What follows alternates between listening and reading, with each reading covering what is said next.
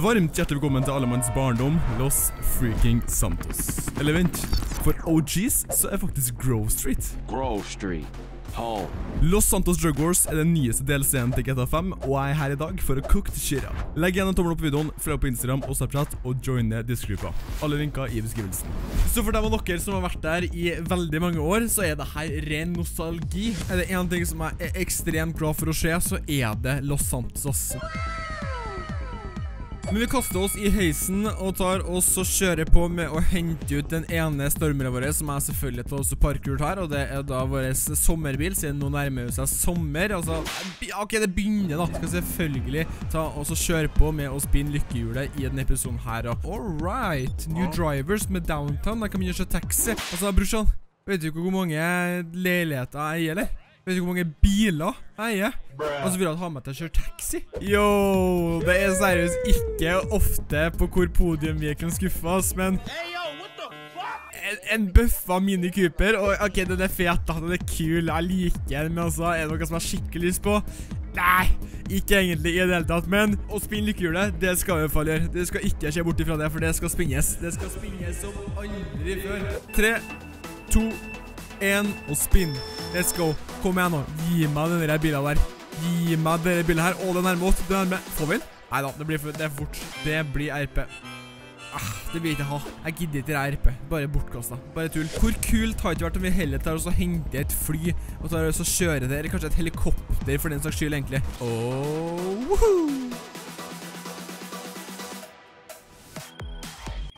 Sjukt.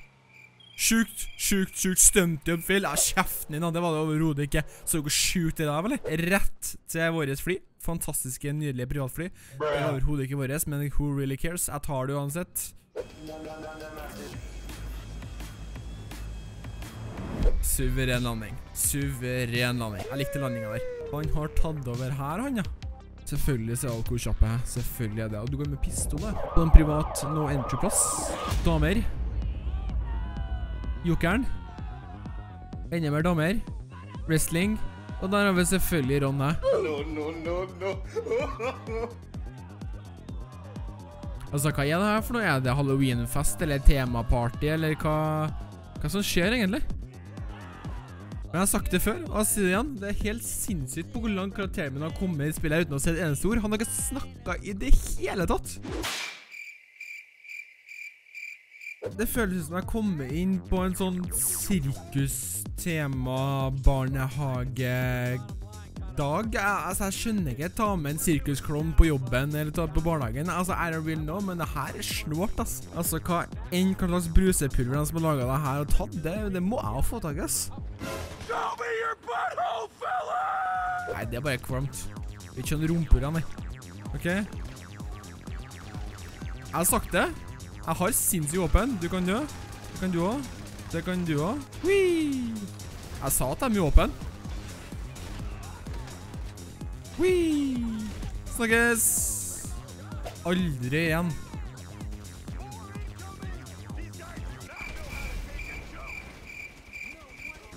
Kom igjen, da. Ha noe mer spennende arsenalet mitt? Ja, jeg har jo granatlunsjer. Hadde glemt at jeg hadde granatlunsjer. Ja da. Ro ned to sekunder nå skulle her liksom være et problem. At det er dags, han her fyren, da. Ok, så det han sier nå, det er våre nye kompiser her nå sier nå, at de tok uh, hans campingbil. Recover Jack Stone Journey, og den er hvor han lokaliserer sikkert på helt på andre siden her nå. Nei, det var bare på andre siden av vannet. Ok, ja, nei, altså, det var ikke problemet. Skal vi se nå, så vi parkerer den bare... Parker bare her, så får Ron lykke til, eller får mekanikeren lykke til å hente den opp. Because it ain't my problem, brother. It's not my problem. Skal vi se nå, nå ser jeg en spiller her. Eller det er ikke spiller da, men det er jo en luring, ikke sant? Der står det igjen. Bam. Bam. To stykker ut. Kom an, brothers. Nei, jeg ser ikke noe RV nå. Bare gi meg ett sekund X. Kom an, kom an, kom an. Jeg kommer til å rise opp ut. Kommer til å ta meg ut med en gang. Skjer ikke. Toppen der også. Fungerer. Åh, den står her. Kødda. Dags, slapp av. Jeg fant den. Vi bare går inn. Vi bare går inn. Kom igjen, kom igjen. kom igjen. Før vi mister litt mer håp her nå. Oh, god damn.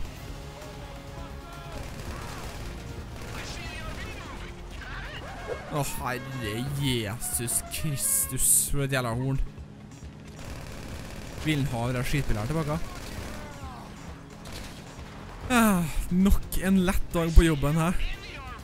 Bare tar knerten av 50 personer. Og der er vi Dex.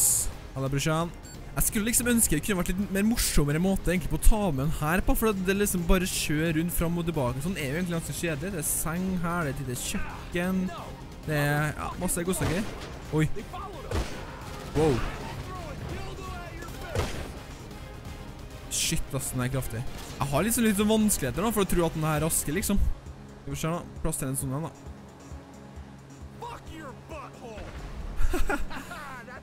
Åh, enkelt. Det er barneskirenn.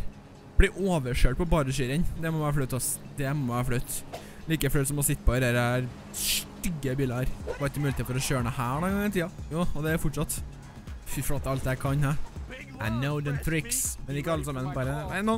Hey, og that's it. Mission passed. Var det vanskelig? Nei, ikke i det hele tatt. Fikk vi 30 000 for det? Ja. Store penger? Nei.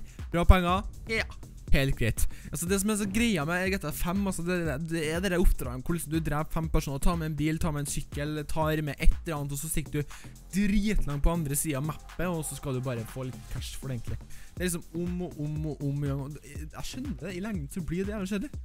Vi fikk til og med også en uh, ekstra bonus på 50 000. Det er også veldig nice. Vi fikk totalt nesten 100 000 bare for å starte det her, og det er faktisk ikke så dumt. Det er ganske, ganske bra.